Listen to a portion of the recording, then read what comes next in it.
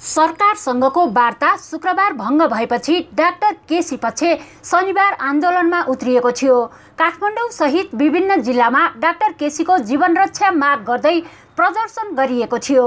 चिकित्सा शिक्षा र सेवा सुधारका लागि सत्ताइस दिनदेखि आमरण अनसनरत डाक्टर गोविन्द केसी र सरकारबीच शनिबार मध्यरातमा सहमति भएको थियो।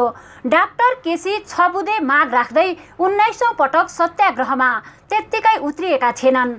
तिन करोड नेपालीको भिडमा एक्लै पुरै भ्रष्ट पद्धति सरकार र माफियाका विरुद्धमा लड्न त्यति सहज पनि थिएन।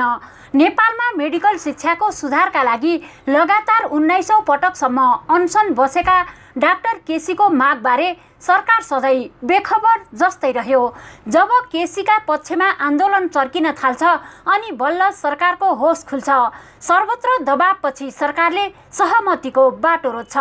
तर मागहरू ओझेलमै पर्छन्। अहिले पनि आफ्नो बचाउका लागि सरकारले आठ बुदामा सहमति त जनाएको छ। तर माग के साँच्चीकै कार्यान्वयन होला त? विभिन्न ठाउँमा कलेज खोल्ने मेडिकल कलेजहरू खोल्ने सरकारी स्तरबाट भनेको छ त्यसका केही केही सुरुवात भएको छन् होइन? तर त्यसलाई चाहिँ जुन द्रुत गतिमा गर्नुपर्ने थियो त्यो चाहिँ नभएको कारणले राज्यको प्राथमिकता त्यतातिर हुनुपर्नेमा अन्ततिर भएको कारणले अरू अरू नयाँ समस्या पनि थपिएको कारणले न उहाँ अनसन बस्नु पर्यो हो। त्यस कारणले यसपालि गरिएको सम्झौता पनि कार्यान्वयन हुन्छ र कार्यान्वयन गर्नुपर्छ। यो चाहिँ अब डाक्टर केसीको मात्रै कुरा होइन राज्यको पनि हो राज्यले पनि सही गर्यो नि त। राज्य पनि यसको पक्ष हो। आफू पक्ष भएको सम्झौता राज्यले कार्यान्वयन गर्छ भन्ने मान्यता हो र गर्नुपर्छ पनि। अनसन तोडिएपछि केसीको उपचारका लागि आइसियुमा राखिएको छ।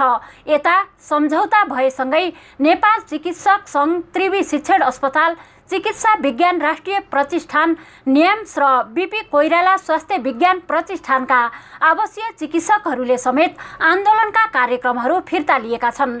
वार्ताको प्रयास गर्ने तर फेरि पनि सहमतिलाई तोड्ने र कार्यान्वयन नगर्ने प्रवृत्तिले डाक्टर केसी सिङ्गो जनचासोको विषयमा पटक पटक अनसन बस्न बाध्य हुनुले फेरि पनि उनी र आम नागरिकमाथि धोका नहोला भन्न सकिन्न। आखिर सरकारले डाक्टर केसीका मागलाई किन व्यवस्था गर्छ? कार्यान्वयनमा किन ढिला सुस्ती गर्छ त? उनको स्वार्थ जहाँबाट पूर्ति हुन्छ। त्योसँग सम्बन्धित विषयमा बढी चासो दिन्छन् र जो दूर दराजको दुखी गरिब हो उनको लागि उनीहरूले बोल्दैनन्। भन्दाखेरि आफूलाई समाजवादी भन्छन् तर व्यवहार उनीहरूको त्यो ठ्याक्कै उल्टो छ। भनेपछि अब जनताको लागि बोलिदिनु त कोही न कोही बोलिदिनु पऱ्यो नि। मिडियाले बोलिदिन्छ हामी बोलिदिन्छौँ। हामीले बोल्ने चाहिँ अब हामी हाम्रा अरू पनि प्राथमिकता छन् हामी कम बोलौँला। र डाक्टर केसीको त एक मात्रै प्राथमिकता अहिले दुखी गरिबहरूको सेवा गर्ने स्वास्थ्य सेवा दिने दूरदराजमा जाने उनको आवाजलाई बाहिर ल्याइदिने उनका मागहरूको सुनवाई गरिदिने त्यो भूमिका उहाँले निर्वाह गरिरहनु भएको छ। त्यो राज्यले गर्नुपर्ने समाजवादी एउटा उन्मुख देशमा त वास्तवमा राज्यले ती कुराहरू आफैले बाहिर ल्याएर आफैले त्यसको अन्वेषण गरेर त्यसलाई सम्बोधन गर्नु पर्थ्यो। अब राज्यले नगरेपछि सरकारमा हुनेले नगरेपछि पदमा हुनेहरूले नगरेपछि डाक्टर केसीले गर्नुभएको थियो सरकार चाहे काङ्ग्रेसको होस् या नेकपा पूर्व एमाले वा माओवादी यसअघि पनि डाक्टर केसीले अनसन बस्दा प्रतिपक्षमा हुँदा समर्थन गर्ने र सरकारमा हुँदा विरोध गर्ने शैली देखिँदै आएको छ। उनका मागबारे खासै कुनै पनि राजनीतिक दलहरूले चासो दिएको पाइँदैन सत्तामा हुँदा। त्यसो त डाक्टर केसीमाथि नै राजनीति गर्न लागेको कहिले पागलको आरोप लाग्ने गरेको छ। सामाजिक व्यथिति भ्रष्टाचार र माफिया तन्त्रको अन्त्य गर्ने काम डाक्टर केसीको मात्र होइन। उनले मात्र त्याग गर्नुपर्ने आमरण अनसनमा बस्नुपर्ने लज्जास्पद विषय हो। कोरोना कहरमा पनि अठाइसौँ दिनसम्म आमरण अनसनमा होमिनु केवल आम नागरिकका निमित्त हो।